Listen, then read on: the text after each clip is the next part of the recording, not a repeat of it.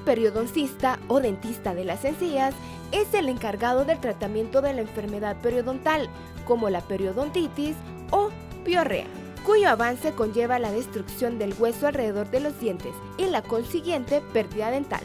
Las principales funciones son detectar la periodontitis, frenar la destrucción del hueso y reconstruir el hueso o la encía en los casos en las que se haya perdido. Aunque un dentista general es capaz de realizar estas funciones, un periodoncista tendrá más posibilidades de éxito y menos complicaciones durante el tratamiento, puesto que está mucho más preparado. Con el auge de la implantología dental, el periodoncista se ha convertido en un profesional clave para el éxito de los implantes a largo plazo, ya que la pérdida de hueso y consecuencia de la periodontitis es cuatro veces más rápida alrededor de los implantes que sobre los dientes.